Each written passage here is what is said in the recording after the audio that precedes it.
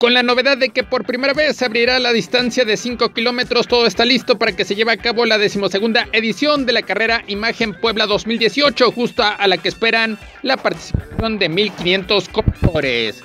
Así lo dio a conocer el director de deportes del grupo Imagen, Pablo Carrillo, quien mencionó que con esta clase de eventos se busca fomentar el deporte y erradicar los hechos de violencia que han ocurrido recientemente. Nuestra idea, hay carreras hoy que lo que quieren es llegar a tener muchísimos participantes, pero, pero la calle no es suficiente para que puedan correr bien, no hay suficiente atención en la hidratación y en esos aspectos. Entonces, nosotros hemos buscado siempre calidad más que cantidad. De esta forma, las inscripciones tendrán un costo de 400 pesos, mismos que incluye playera, medalla, así como el chip y el derecho a participar en la rifa de un automóvil. Estas se podrán llevar a cabo en emociondeportiva.com o en imagenradio.com.mx. El sábado 6 de octubre se llevará a cabo la entrega de paquetes de esta prueba, la cual ha buscado promover el deporte y la salud. El recorrido partirá del centro comercial Vía San Ángel a partir de las 7 de la mañana y el mismo tendrá algunas pendientes para los participantes.